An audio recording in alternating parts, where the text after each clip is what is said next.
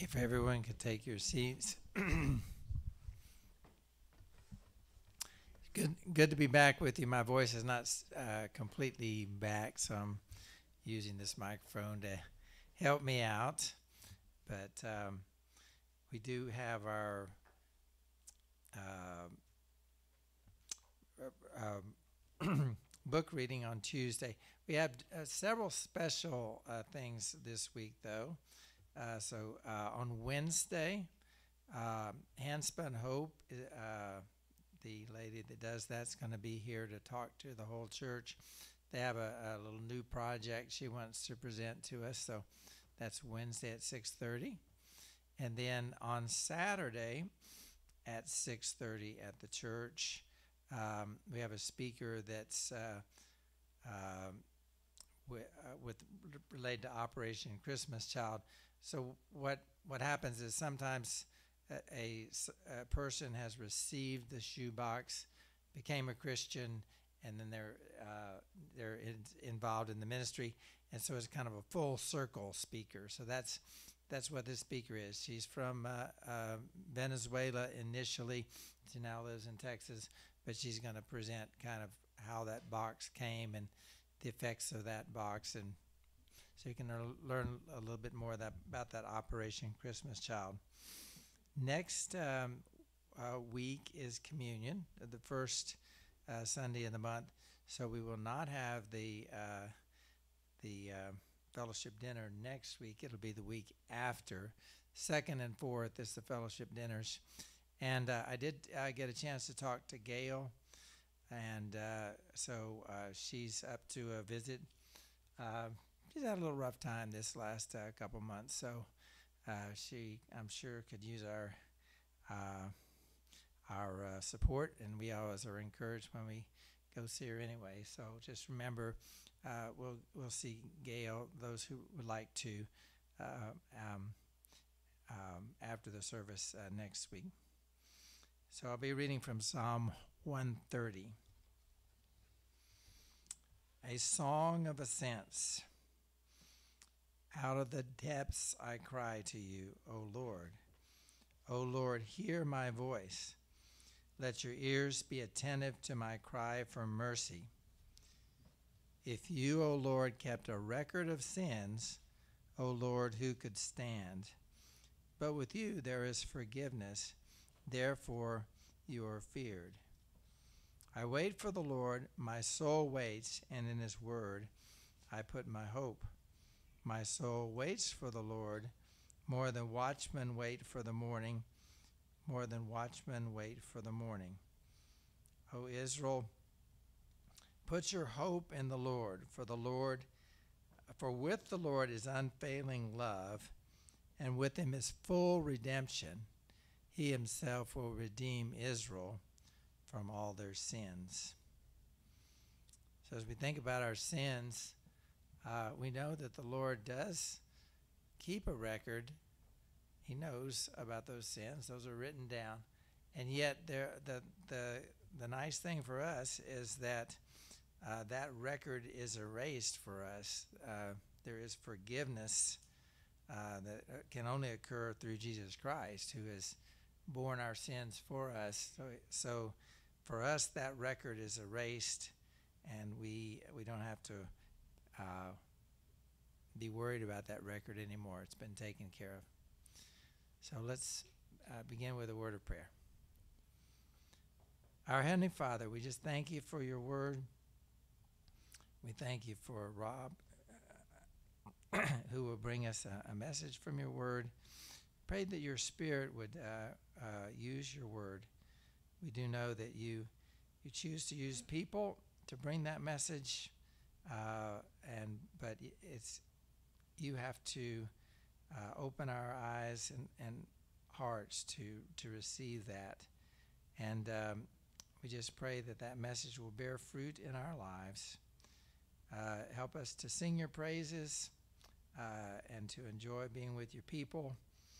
Uh, and uh, we thank you uh, for this day to worship you. In Jesus' name, amen.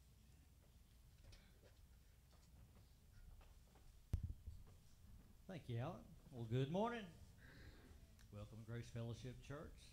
Nice, cool, crisp morning. Felt good. The, the, the heater on the steering wheel came on all by itself for some reason. Uh, I thought it's not that cold, but it came on. So uh, it always messes with me. I never had a steering wheel heater, but but it felt good up there. But yeah, times are changing, seasons are changing, and uh, looking forward to the coolness. Had a little burst of warmth again up there. It's amazing when you get that coolness, how hot 90 degrees after that seems again like that. But the cool's on the way. We're very thankful for all the rain we've got. We've got a good dose of rain up there. We just keep on praying. Don't stop now. Up there, I think our lake still just caught one foot is all it caught. So no, keep on praying, and uh, definitely keep uh, all that area in the east that have received too much rain. Obviously, uh, those people are really, really struggling. So definitely uh, keep those people in your prayers tonight. Well, let's stand and sing. We're going to start off with "Trading My Sorrow."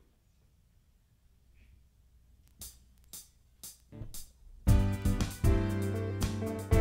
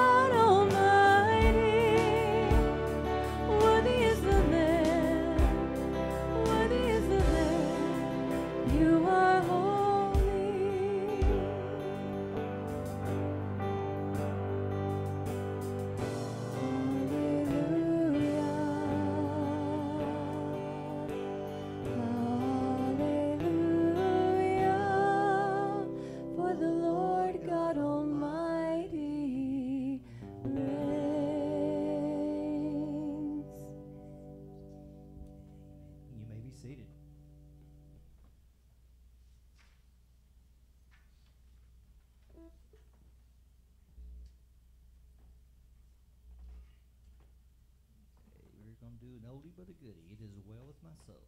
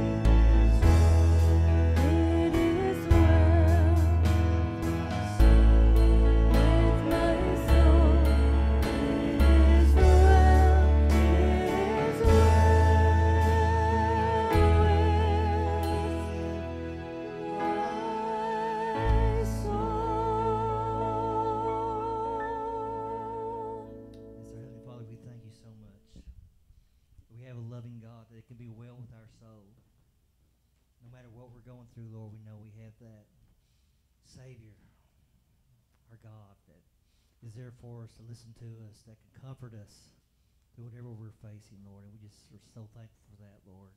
We just lift today up to you, Lord. We pray that our worship is pleasing to you and just pray that you'll go out with us throughout this week. In Jesus' name I pray.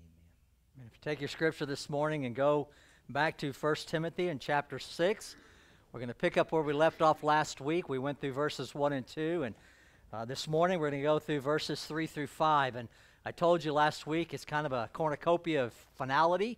Uh, Paul is throwing everything in the pot, and it's going to be a stew by the time it's done. We're going to have a, a little bit of flavor of everything. And so we're going to pick up kind of a, a different thought this morning, although it is connected. So there's no discontent uh, in the believer, as we're going to see next week. But sandwiched in between that, that kind of the nugget in the middle, is really to identify false teachers, the characteristics that make for a false teacher.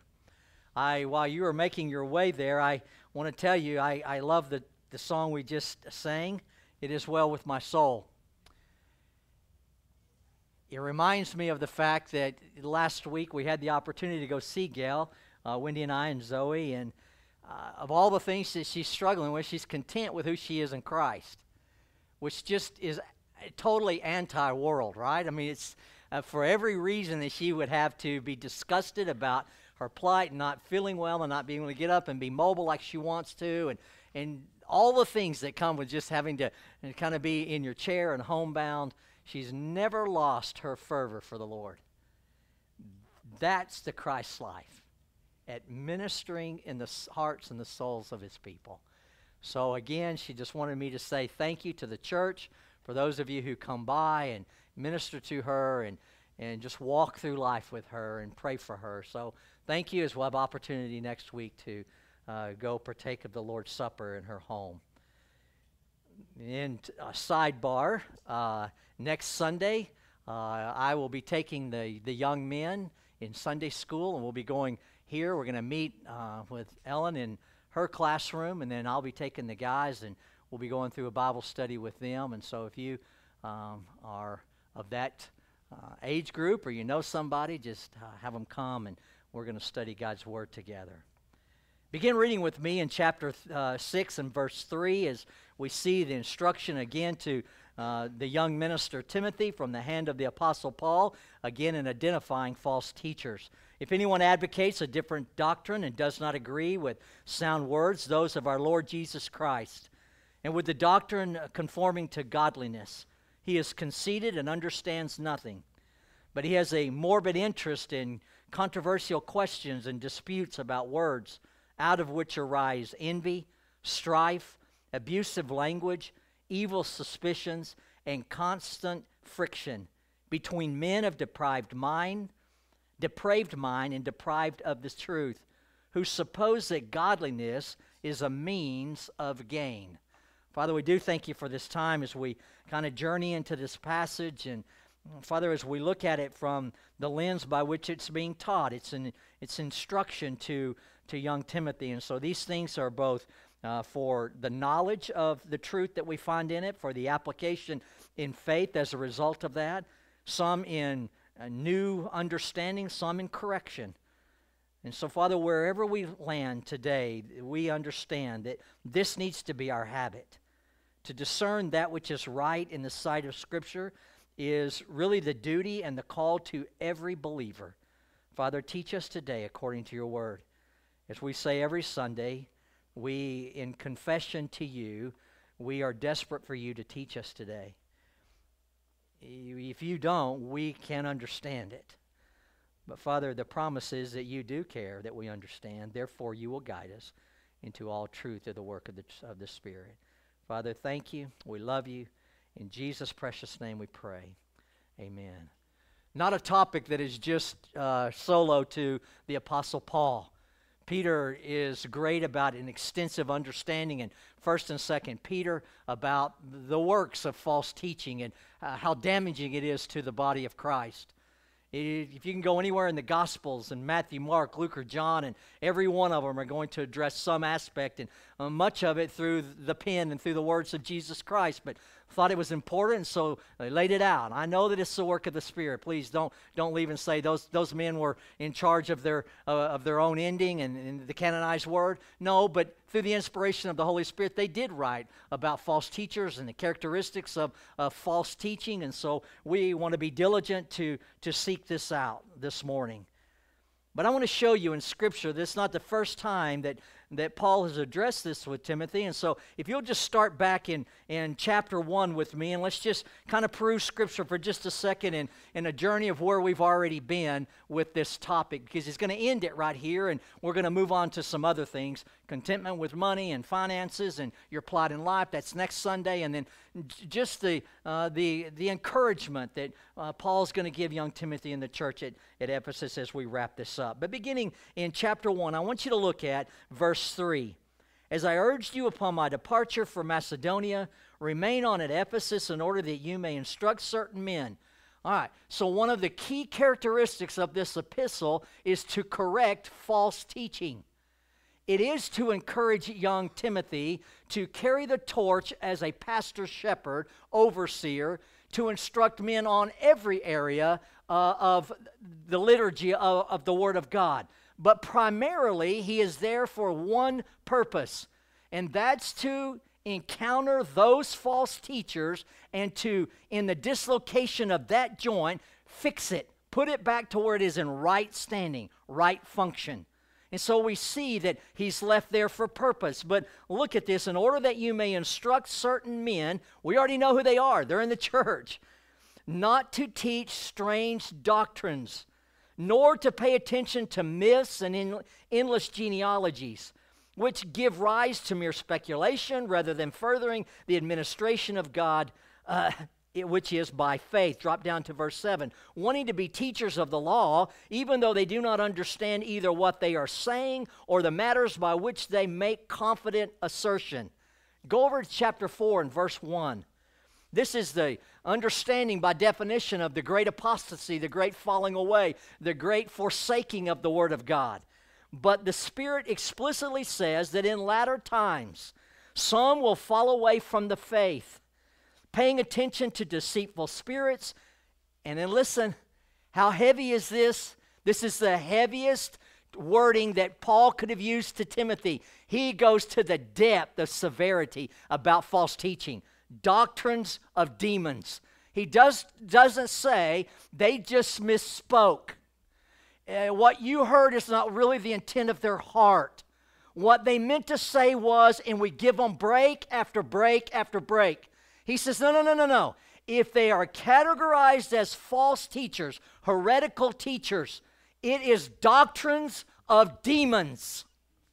Folks, this is the weightiest thing that Paul could have said to Timothy. It's not a mistake, it's intentional. And the intentionality is to forsake the Word of God and to drag off either weak Christians that are biblically illiterate or the unsaved or the unregenerate to never come to the saving knowledge of Jesus Christ, to never see the gospel for what it is the good news.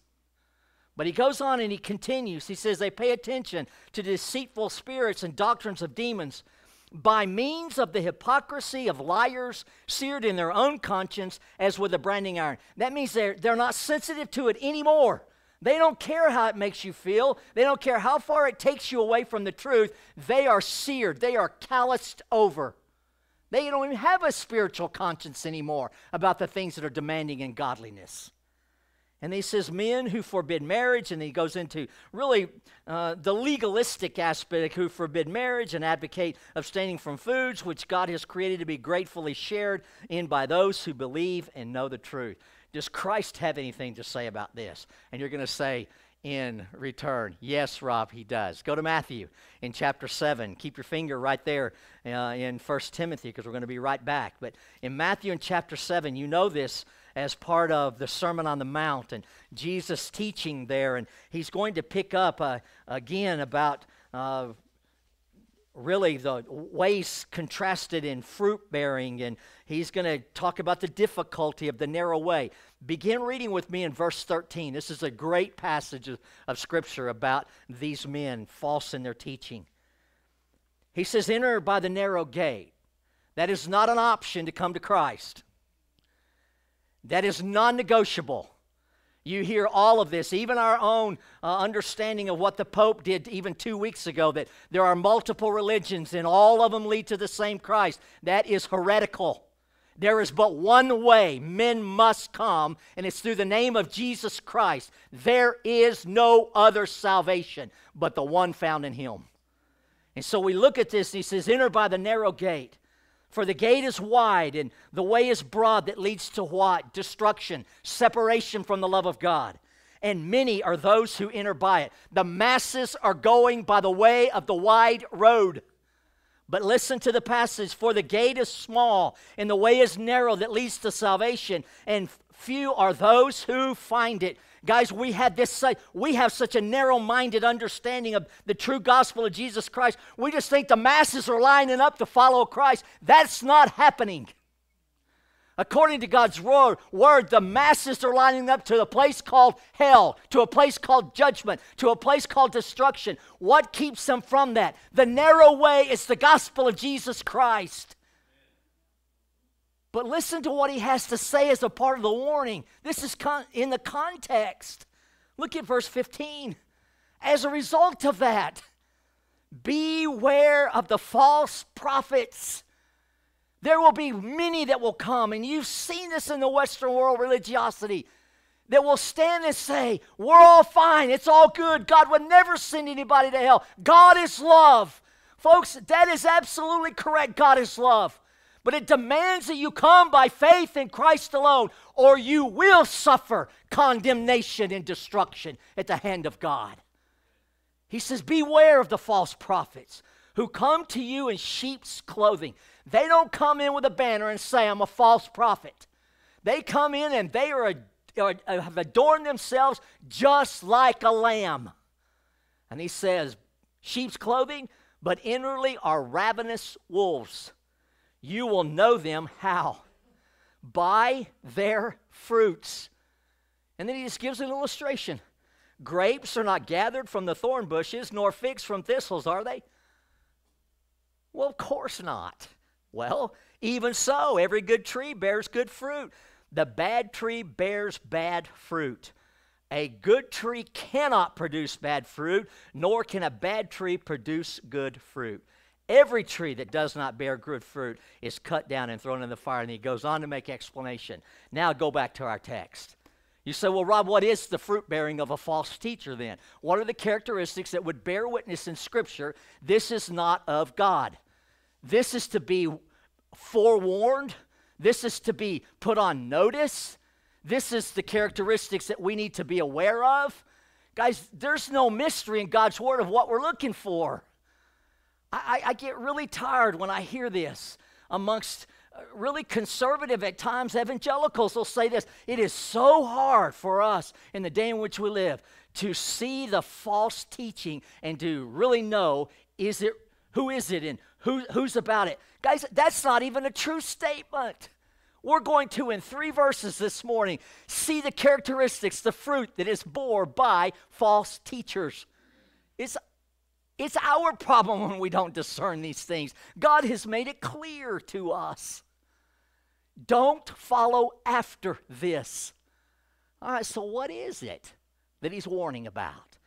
Well, I've written my own notes. I kind of went in a different direction than uh, I was intending to a couple of weeks ago, and I try to say a couple of weeks in, uh, ahead of what we're going to do. And this week, I just bagged all that and, and started over because it just uh, didn't make sense to me, so I figured it wouldn't make any sense to you either. Verse 3 False teachers are identified by their false doctrine, ungodly doctrine. Now, the passage in verse 3 breaks down into three subpoints. If you're taking notes, I want you to get this because this, this is highly important for us. False doctrine oftentimes teaches rebellion against God. Secondly, false doctrine disagrees with sound instruction of our Lord Jesus Christ. And thirdly, false doctrine does not agree with godly teaching or the pursuit of godliness. All right, let's get into the text. The scripture says if anyone advocates a different doctrine Okay, again, if it's not important, I'm not going to get into the weeds about the original language. But when it is important, I think we need to go there. The if, again, is a first class conditional if. The passage can read, since there are those who are advocating for a different doctrine or a false doctrine. All right, so Paul is making a statement that in the original text, Timothy would have immediately picked up on, not only because the charge in chapter 1 and chapter 4 is there, but Paul is making a statement. They're amongst you, they're already operating in the church at Ephesus, and it is not of God. Do something about it. Oh, wow. How would you like to be on the field in Macedonia, left by the Apostle Paul at Ephesus as he makes his way into a, check, checking out the churches throughout Macedonia and left in Ephesus? How would you like to be the guy that had to go and say, okay, bring the elder body to me? You, you, and you, you can't teach anymore. why, why not? Uh, you teach doctrines of demons. Guys, I just find it extremely interesting that the Apostle Paul, as well as uh, our Lord Jesus Christ, they weren't politically correct in the way they approach things. It doesn't say, and, and if they feel like stepping down or they feel like maybe changing their mind, go ahead and let them kind of stay in it. Feelings and experience and opinion mean nothing when it comes to Scripture. The knowledge of the truth is there are those who are bolstering or supporting. They were giving credence to false teaching. He says, if anyone, that includes all of those who are doing it. If anyone advocates a different doctrine, a strange doctrine.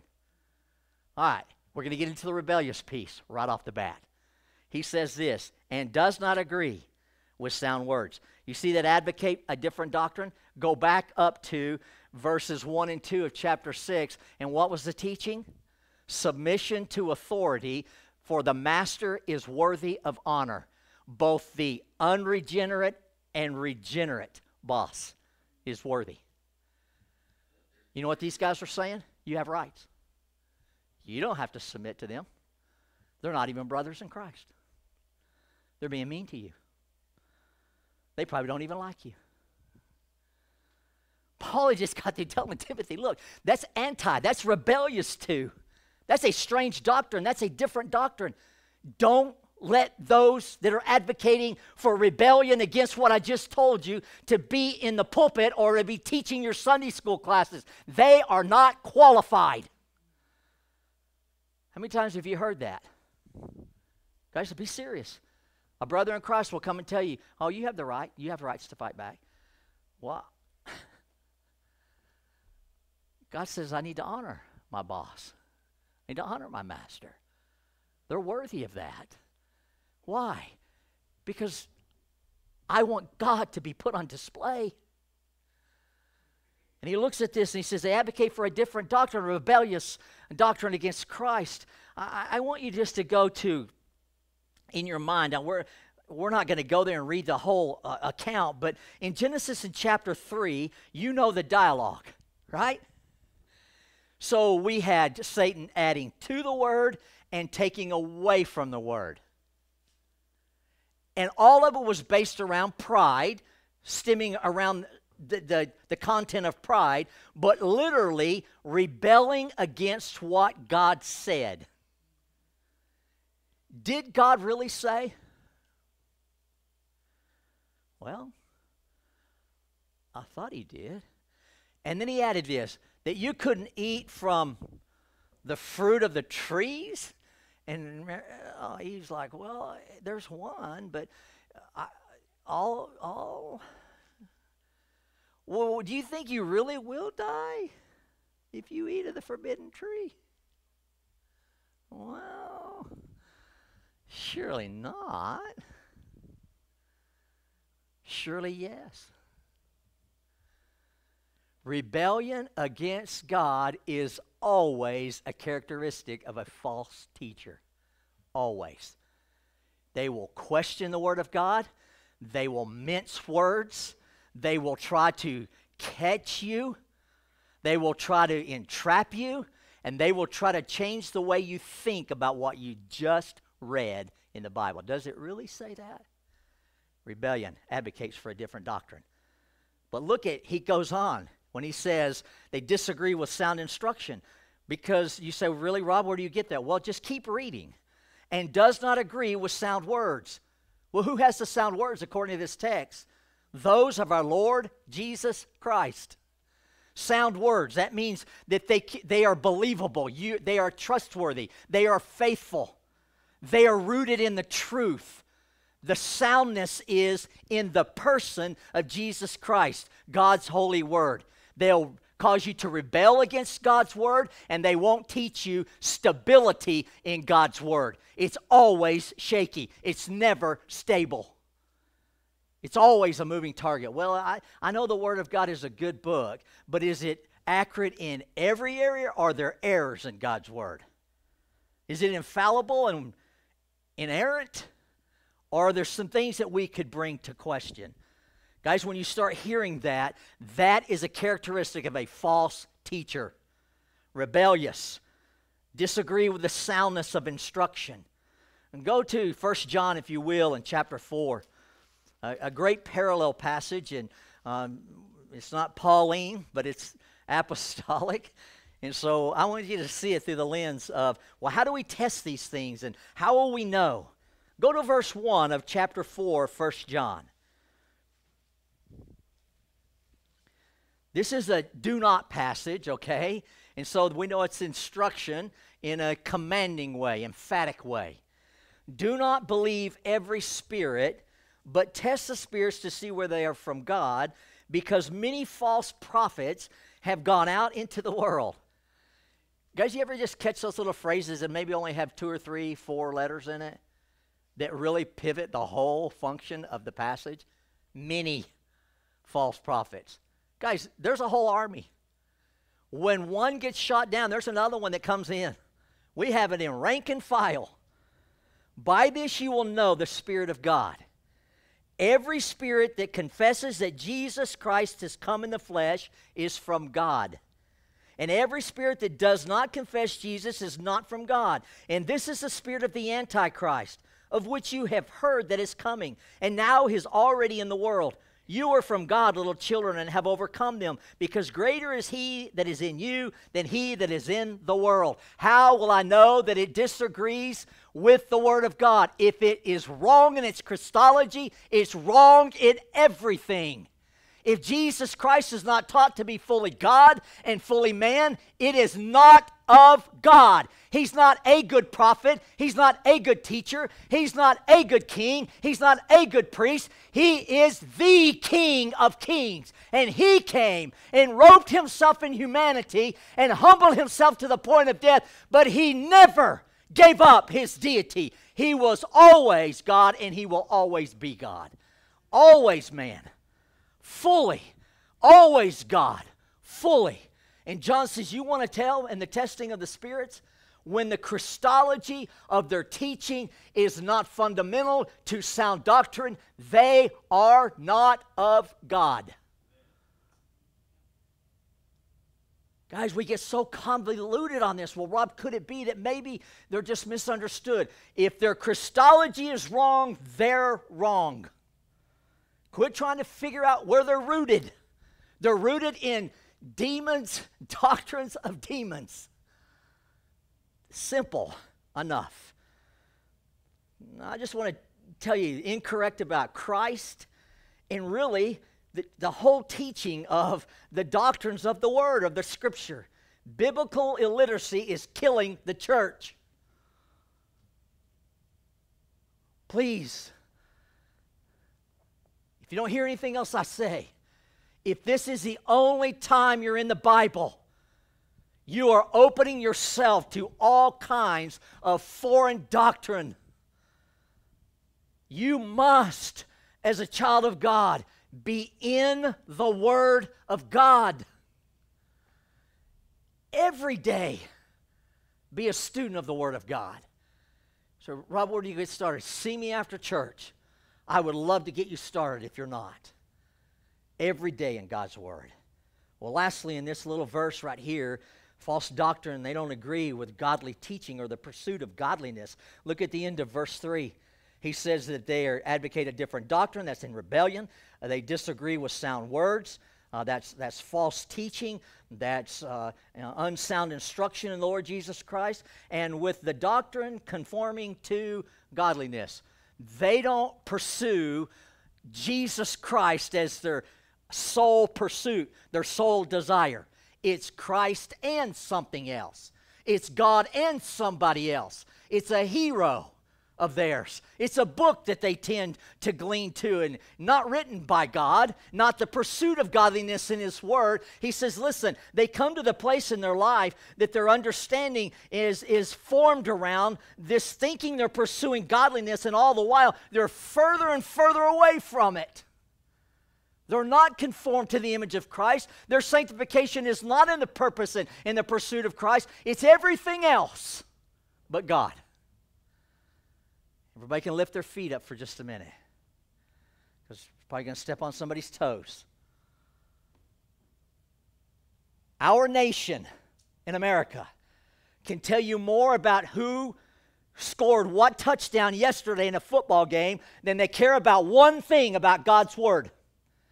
You can have your favorite team and knock yourself out. You can tell me everything about every player on it. But if you can't tell me about God's word, you have just exchanged the godliness pursuit that is being warned against in this passage for everything that's not godly. Idolatry is killing our nation. And we are just steadfast, holding our feet, lifting them up, and headed downhill as fast as we can. And we don't see why it's not working out for us. Folks, the promise of truth is found in the Word of God, not the pursuits of godly men doing the ungodly thing.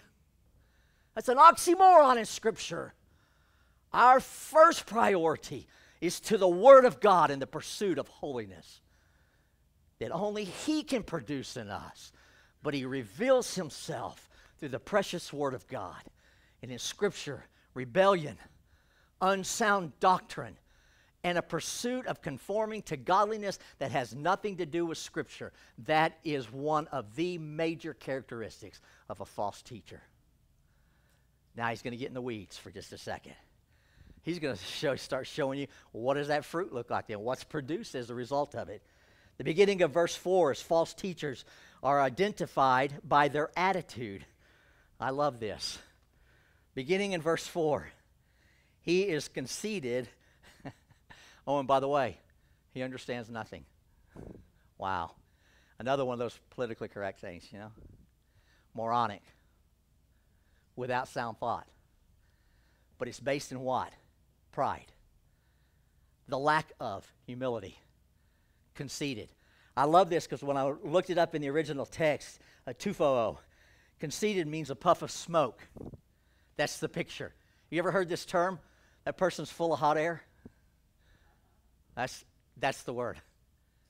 You just know the whole time that they're talking to you, they're just blowing smoke. You've heard that, haven't you? Hot air, smoke. That's it, tufo.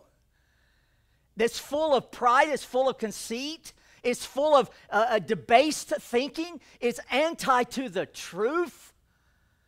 And he says, This is who they are. They, they hold themselves uh, to this thinking they have understanding. We just read it out of chapter 1. They think they know, but they don't know. Wow. Secondly, out of verse 4, not only are they identified by their attitude, they're identified by really their propensity towards controversy and discord, and it starts producing fruit in them. Look at it with me in the end of uh, verse 4 and the first part of verse 5. He says they understand nothing, that they can't even wrap their head around the things that are truthful. They're conceited, they're full of hot air, but he has a morbid interest. Those who have a interest in uh, uh, have a morbid interest in controversial questions and disputes about words. Guys, have you ever called one in and talked to one? You're at the barbershop and they say something that's heretical and you call them on it. The first thing they want to do is argue with you with their lack of understanding in God's Word. Guys, it can be one of the most frustrating conversations you could ever have. Well, let's just see what God's Word, I don't care what God's Word said. My experience tells me. I was told ever since I was a kid, my dad was a Baptist preacher. Really? Well, that's morbid in your thinking. That's controversial according to the Word of God. It rubs against the Word of God. But listen to what it produces this morbidity of interest and controversial questions and disputes, this argument about words, out of which arise envy, jealousy, strife, friction, abusive language, slander, phormeo, yeah, evil, suspicions, and constant friction. Guys, every time I look at one of these false teachers, though they're advocating a false doctrine and they're trying to pull it off, and some of them are really good salesmen, there's a dumpster fire going on behind them. Everywhere they go, there's turmoil. Everywhere they go, there's somebody getting hurt. Everywhere they go, somebody is being stolen from. Everywhere they go, they're being lied to. And they believed it for a season, and now they're left with nothing and life happens to them. And the hope they were given by this false teacher doesn't come about because God doesn't care as much about your prosperity and your physical health as you do. He cares about your holiness and your obedience to the righteous word of God.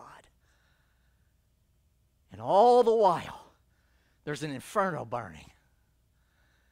And we walk around and go, How did that happen? False teaching has led us into and this is who they are. They're jealous. They pursue hard after the things that are just in man's eyes of great worth, constantly in friction with people. That jealousy is causing them to have a morbid thinking of the Word of God. And it goes on to say, as a result of that, listen to this there's a great apostasy from the truth morbid interest in controversial questions and disputes about words, out of which arise envy, strife, abusive language, evil suspicions, and constant friction. Listen, between men of depraved mind and deprived of the truth. Guys, they can't even know the truth because the truth is not in them. You say, really, Rob? Where is that? All right. Glad you asked. Go to Romans chapter 8 and verse 7.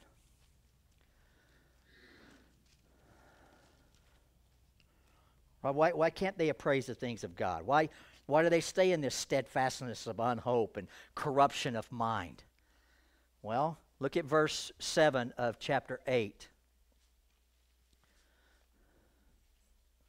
Well, you have to go back to 6. Verse 6, chapter 8, Romans. For the mind set on the flesh is death Corruption leads to what in the Broadway? Destruction, death, physical, spiritual, soulful separation from the love of God forever. But the mindset on the spirit is life and peace. Because the mindset on the flesh is hostile toward God, anti, rebellious. For it does not subject itself to the law of God, for it is not even able to do so and those who are in the flesh cannot please God. Go to 1 Corinthians in chapter 2, if you will. I want to show you one other place as Paul is instructing the church at Corinth on these very issues. In verse 14,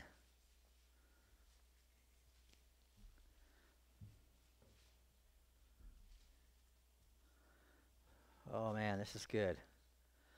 But a natural man does not. It doesn't say cannot. We already heard that one already in Romans. He doesn't. As a result of him not, he doesn't.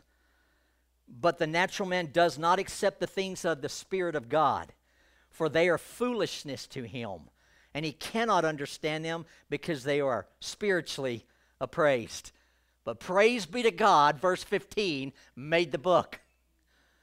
But he who is spiritual appraises all things, yet he himself is appraised by no man. Who is my judge on the things that are godly? God himself. But the ungodly, the doctrines of demons, those are in constant controversy, and they think they know, but they know nothing. It's because they cannot appraise the things of God because they don't have the Spirit of God within them to lead them and to guide them into all truth. They will never be based in Scripture. They will always be unsound in rebellion to the Word of God. They cannot, in and of themselves, have understanding. Wow. Okay. You say, well, Rob, what drives them? This is beautiful. Look at the end of 5. He says they're depraved in mind and deprived of the truth, who suppose that godliness, for them it's just religiosity, but a little sprinkle of God in their life is what? A means of what? Gain. What motivates a false teacher? If this is not the sin of Balaam, man, you talk about a prophet for hire. He would tell you anything you wanted to hear as long as you had a money bag with it until he faced God himself. I'd love to prophesy against God, but I can't. He won't let me. You know what their true motivation for false teachers, according to the passage, is? A name of notoriety, special privilege, and financial gain. You listen to every single false teacher. We will eventually get to here's where you can send your cash. And while you send it, tell your neighbor how great I am so they may send it too. Yeah, check me out. I don't want you to listen to too many of them because I don't want you to have to sit there and sit in the morbidity of false teaching. But you just think about every flyer that you get, or every, every word of faith, or, or every doctrine of demon that you hear. Every bit of it comes back to I'm something special, Gnostic. I am the real deal. I've been places that you will never go, you could never go, you can never enter into. Guys, I, I, have heard these men say that God has asked them their opinion before He moves. God has never asked your opinion on anything, nor will He ever. He is God. Nor will He ask me.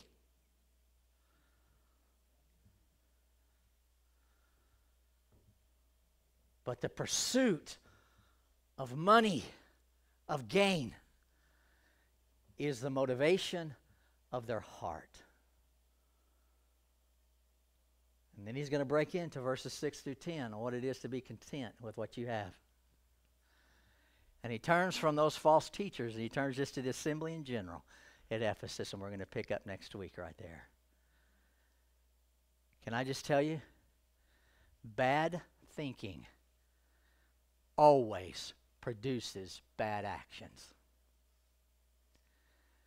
False teachers do not stay where they're at. Progressive, yeah, digression is their life. It starts small and it ends in an inferno. It's a large dumpster fire. You say, Well, Rob, how will we know? They're rebellious to God. They do not sit under, nor do they teach sound doctrine according to our Lord Jesus Christ. And they don't agree in what it is to truly be godly. Their pursuit is foul. They're jealous. They have hate in their heart, slander on their lips. Their tongue speaks evil. It suspects everybody of doing something against them. They can't think right because they don't know the truth and the truth's not in them. And because their mind is deprived of the truth, it becomes the depravity of their action. They cannot do what is right. False teachers. Guys, I wish I could say that this was isolated to the church at Ephesus 2,000 years ago. My dear friends, false teaching is alive and well today. But please let us not be a people that says, well, we don't, we don't know how to identify them. Yes, we do. You just heard how to identify them. And when you do, beware of the false teacher. Well, Rob, they had a sheep's head on. Yeah, they had a wolf body underneath it. If it doesn't line up here, it's not worthy of your thought or your action. Father, thank you for the day. Man, what a good God you are, and how desperate we are for you to teach us, for you to come and, and, and give us sound instruction about just life in general in the church. Father, if we're going to be faced with it, I thank you that you spoke on it. And it's obvious we're going to be faced with it because we do almost on a daily basis. Have to defend the faith because it's right to do because of some heretical teaching. Father, we love you and thank you. We're most appreciative of you teaching us today. It's in the high name of Jesus Christ I offer this prayer. Amen.